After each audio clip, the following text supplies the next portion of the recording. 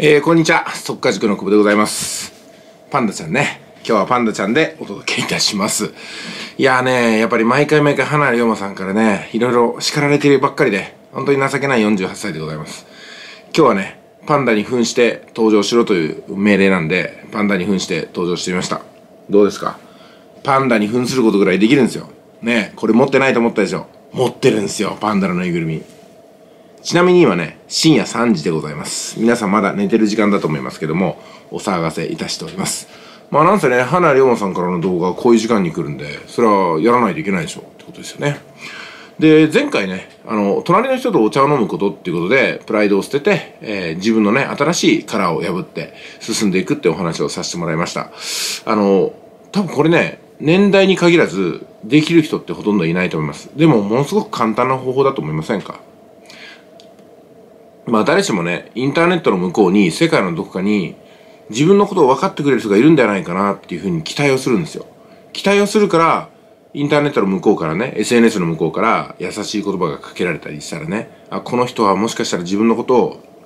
失礼しました。受け止めてくれるかもしれないと思うような10代の女の子、中学生の女の子が、ふらふらっとね、40代のおっさんのところに行って、まあホテルに行ってね、写真撮られちゃうみたいなことがあるわけなんですけども、あの、やっぱりね、私思うんですけども、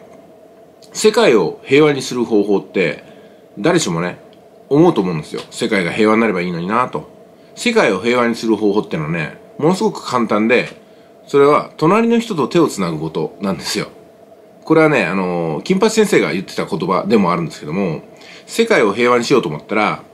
偉い政治家さんとか、大企業の社長とかに会わなければダメだとかね、その人にお願いしなければダメだとかね、権力者が動かなきゃダメだって思うんではなくて、ただ単純にですね、私たちは、隣の人との争いをやめて、手を繋ぐことをすればいいんですよ。そうすると、隣の人と繋いだ手っていうのが、ぐるっとね、世界中の隣の人と手を繋ぐことに繋がって、平和な世の中ができるんじゃないかなと思うんですよね。まあだからその第一歩として、まあ隣の人とお茶飲むぐらいできんだろうみたいな感じですよね。こんなに簡単なこと私はないと思うんですけども、私もこの町に住んだ時って、まあ、すぐにね、お隣さんとこ行って、こんにちはとか言ってね、まずは仲良くなると。自分ってものが何者なのかってことをお話して、その方のね、あのまあお力になるということをね、約束すると。で、そのうちにね、あお茶も飲みに来ませんかってなったり、周りの人が、こんにちはって来てね、ちょっとお話しませんかみたいになってくるんですよ。だから一朝一夕にはなりませんけども、今日からそれを始めないと、いつまで経ってもね、隣の人が最も遠い存在になって、まあ、近所にどんな人が住んでるのか分かんないからね、みたいなことになっちゃうわけですよ。うん、そのその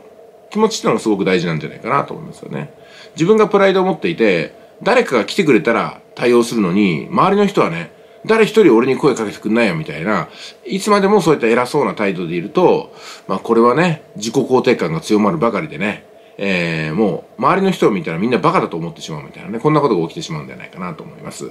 えー、本当にね、えー尊重心を持って、えーこうなんですかね、謙虚に生きていかねばなと思うところでございますね。で、今回のお題なんですけども、継続っていう風なね、ネタが来ましたね。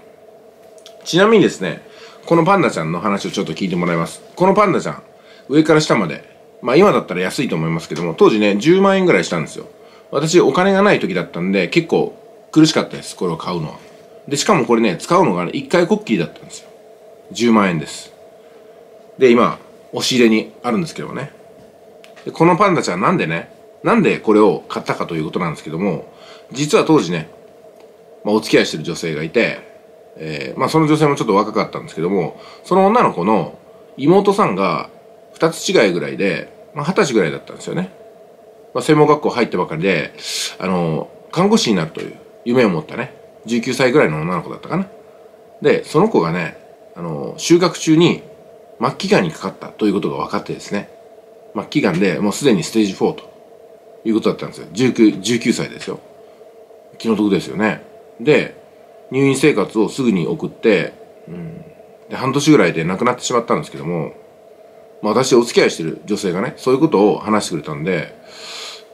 それはまあ気の毒になと思って、でももう打つ手がないわけですよ。私はね、ちょっとかける言葉もなかったんですよね。その中で、その、彼女と、当時の彼女とデートしながら、妹さんも連れ出してね、3人で遊園地行ったりね、旅行に行ったりすることになったんですよね。で、まあ、癌ですから、食べるものも限られてくるんですよ。その中で、一回だけ誕生日をお祝いしたんですよ。その時も生クリームのケーキはダメだから、私がね、特別に行って、このバームクーヘンでケーキを作ってもらってね、専門店に行って。で、えー、お願いして、バームクーヘンの小さいケーキ。まあ、焼いてるやつですから、これなら大丈夫なんですよ。それを一緒に、ハッピーバースデートゥーユーってやったようなね、思い出がありますよね。まあ、その中で、その子がね、まあ、パンダが好きだってことが分かったんで、よし、じゃあお見舞いに行くときに、パンダの着ぐるみを着て驚かしてやろうと思ってね。これを買ったんですよ。で、お金が本当になかったんで、きつかったですけども、そんなことは、あまあ、口にも出さずにね、お首にも出さずにね、まあ、買ったこの衣装で、いや、熊ちゃんだよみたいな感じでね、病室にいきなり行ってね、まあ、病院の許可を取りながら行って、喜んでいただいたかなっていうところでございます。で、そのパンダを見てから、1ヶ月ぐらいしてからですかね、夜中に、私のところに深夜の1時か2時ぐらいに私が麻雀店の仕事から帰ってきてね、電話がありまして、えー、あのー、容体が急変して、さっき、うん、死んでしまったの、っていうことでお電話ありまして、まあ私はその、足でね、すぐに病院の方に行って、えー、もう静かになったね、その妹さんの、うん、息を引き取った顔をパンダと一緒に見送ったんですよね。あの、ふざけてると思われるかもしれませんけども、私その時もパンダで行きました。でね、えー、パンダの着ぐるみで顔を触ってみたりとかね、こう体叩いてみたりとかしたんですけども、もうやっぱり動かなかったですね。で、周りでは担当のお医者さんとか看護師さんが、うん、数名ですけどもね、5人ぐらいでこう取り囲んで、まあ、静かに、あの、おえつをこぼしていたということでございます。私はそこに行ってね、彼女の姿とお母さんの姿と見て、まあ、何度も人の死には遭遇してきたんですけども、また改めてね、この短かった、あの、青春真っ只中のね、女の子、夢を抱えて看護師になるんだ、人を救うんだって言った、その顔をね、思い出しながら、あ、もう動かないんだなと。うん、そんなことをね、思いながら、まあ、パンダと一緒にね、帰りまして、だから悲しいストーリーがここに入ってるんですよね。で、逆に思うんですけども、奮い立っていかないけんなと。うん、まあ、そんなとこですかね。はい。まあ、すいません。その頃はね、あの、YouTube だとかインターネットとか全く使ってない頃だったんで、今とは全く違うような人生だったんですけどね、それこそホームレス半分やってたような時期だったんで、本当に何もできなかったなというところでございます。だからね、何をするにも、自分ができないといけないなっていう風な意志がさらに固まりましたね、その時は。誰かが何とかしてくれればいいのにとかね、ドナーがいないのかとかね、医師は何をやってんだではなくて、偉そうに言ってる俺は何をやったんだよとかね、そんな方を思いました。さあそこでね、継続のコツの話にちょっと戻らせていただきます。継続なんですけどもね、これはね、私はね、欲望に正直になることだと思うんですよ。で、物欲をはっきりさせることだと思います。物欲がなかったり、欲望がなければ、これね、継続できるわけないんですよ。だってやめても困らないわけですから。で、私の場合はですね、人の命を救う、もしくは人の命の死を和らげるためには、金は絶対いるなと思いました。しかもそれはね、10億とか100億必要だったわけじゃないんですよ。ほんのわずか毎月100万とか200万ぐらいの金額が自分でどうにかなれば、それは大抵のことをね、解決してあげたりとか、解決できないまでも癒してあげることができるんだろうなと思ったんですよ。当時の私がね、10万円買うのがやっとという状況で一体ね、何ができるんだと思いましたよ。だから自分の力のなさが最も呪わしいことであってね、やったるぜと思った動機の一つにもなりました。うん、で、私がね、何が欲しかったのかというと、それはですね、まず一つはですね、まあ、家族とかね、それから大好きな女性を幸せにする力ですね。これね、必要最低限、お金はね、当たり前のように稼げないといけないかなと思いました。よく婚活とか行くと、女性は男性をね、年収でしか見ないのかって言いますけども、逆に言うとですね、まあより好みされるような、しょぼい年収しか稼げなくてどうするって思いも私にあるんですよ。うん、男一匹ね、月に100万ぐらい稼げないと、これはお前何やってんだよって話なんですよ。うん、そのぐらいは、あの、100万円大変ですけどもね、うん、失わないで挑戦していかないといけない道なのかなと思います。その、月収100万でも50万でもいいんですけども、そこにたどり着く過程で、あの、継続することは当たり前なんですよね。稼ぎ続けることとかね、人を愛し続けることとか、思いやりを持ち続けることとか、花江龍馬さんを死に仰ぐこと、その先生と思い続けることってね、もう必須だと思うんですよ。継続できない人に、どんなね、人生の継続があるんだってことですよ。どんな命を守っていけるんだってことなんですよ。自分の命も込みでね。だからね、その、継続するコツってのははっきり言ってね、これをやったら自動的に継続できますよっていうふうな、そんなものはないです。これ誰に聞いても、ずっとね、思ってました。どんな成功者に聞いても、継続を教えることができないと。自分は、たまたまね、貧乏から脱出したいという思いで継続できたし、母親に恩返しをしたいという思いで、えー、継続できたし、それからね、恩のある人の遺言を胸に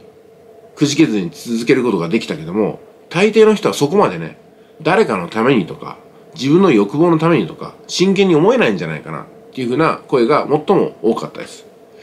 まあだから、継続できる人ってのは、うん、ものすごく貴重なんですよね。私はね、この、イチロー選手とかよく思うんですけどね。まあ、すごいスーパースターじゃないですか、イチローさんって。あそこまで継続できる人は、だからこそ結果も継続し続けたんだろうなと思いますしね。いや、花屋の皆さんね、継続することって誰しも難しいんですよ。しかもコツがないんですよ。だから、継続できる人とできない人っていうのが、先天的に分かれてるのかもしれませんね。でもその中でも、そんなこと言ったら生まれつきだよって言ったら終わっちゃうんで、えー、確実に私が思えるのは、欲望に正直になること。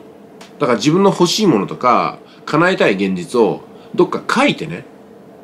もういつも見えるところに貼って、その書いたことによって自分を刺激し続けていくとか、あとはね、周りの人に言うことですよ。こうなりたいと。海賊王に俺はなるんだって言ったら、周りの人がね、あいつ海賊王になるって言ってるよっていうふうに監視してくれるんですよ。そしてもうね、逃げられない状態になります。で、やらざるを得ないってことなんですよ。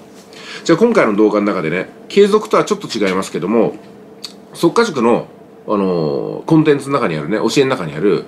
キティちゃんの法則っていうのをね、お話ししましょう。キティちゃんの法則っていうのはね、あの、キャラクターグッズのキティちゃんですよ。どういうことかっていうと、あの、こういう例があるんですよ。ある女の子がね、私、キティちゃんが好きなの、キティちゃんのグッズ集めてるのって言うとするじゃないですか。で、実際その子はね、いっぱいグッズ集めてる、うんで、わけなんですよ。いっぱい持ってるんですよ。で、その自分が持ってるものを、キティちゃんが集めるのが趣味なのっていうことによって何が起きるかっていうと、周りの人がね、あ、じゃあ、これキティちゃんのグッズだよ、どうぞってくれるんですよ。で、誰かが旅行に行った時に記念品を買ってきた時にね、あ、そういえば、キティちゃん好きって言ってたから、こっちにしようか、つって、キティちゃんのグッズを持ってきてくれるんですよ。ということでね、自分が発言することによって、発信することによって、それが集まりやすくなるんですよね。で、周りの人に先入観ができるんですよ。あの人は、キティちゃんばっかりだからってことでね。で、もっともっと集まってくるんですよ。もっともっと集まってくるから、さらにね、キティちゃんこんなに集まっちゃったっていう風な表現ができるんですよ。そうするともっともっと集まってくるんですよ。ということでね、実はね、自分の欲望をむき出しにすると、欲望は達成しやすくなるんですよ。うん。だからね、好きな女の子のタイプとかを早く言った方がいいです。周りの人に。そうすると、そういう女の子を知ってる人が、この子どうみたいな感じで来るわけですよ。集まりやすくなります。だから、発信がむちゃくちゃ、ああ重要だし、楽なんですよね。だって、遊戯王転売してる、あるね、花井龍馬さんって方いますけども、遊戯王のカードいらなくなったら、花井龍馬さんいる？みたいな感じで来ますからね。ってことは、集まりやすくなってくるわけですよ。だから継続できるんですよ。私はそういうふうに考えてますよね。うん。だからね、お金稼ぎのこととかって私よく発信しますけども、お金の問題を解決してきてない人が私の動画を見たら、あ、確かになと思って、それは連絡取ってきますよね。だから、あ、また一人の問題を解決したぞ。よし、解決したってことを話そうかなと思ったら、お金の問題を解決したエピソードを話すわけですから、じゃあ自分のケースはどうですかねみたいな感じで集まってくるんですよ。で、結果、継続が成り立って、えー、今8年目ということでございますね。速化塾も8年経って、その間にあらゆるコンサル、あらゆる塾、消えてきました。なくなっていくんですよ。稼いでましたよって言った人も稼げなくなってきてるんですよ。継続できてないんですよ。うん、だからそういうことでね、うん、発信することをやめてしまうと、継続する地盤もなくなってしまうのかなと思います。さあ、まとめますよ。継続は、これをやったら継続できますよっていう方法は確かにありません。ただ私が言うに、欲望を正直に、はっきりとさして、その欲望を周りの人に言うってことだと思いますね。それを繰り返してる人、まさに、隣の人にお茶を飲みに行ってね、私こう思ってるんです。こういうふうなことが好きなんですよ。これをやりたいんですよっていうふうに話すと、周りの人、隣の人も協力者になってくれるわけなんですよ。少なくとも足は引っ張ってこないと思いますよ。えー、ということでね、今回は継続のコツをお伝えしました。まあ、この継続っていうものはね、今までね、何百回となく聞かれたことがありますけども、答えはいつも一緒でございます。ただね、このパンダちゃんが出てきたのは今日が初めてですね。えー、以上でございます。それでは、行ってきます。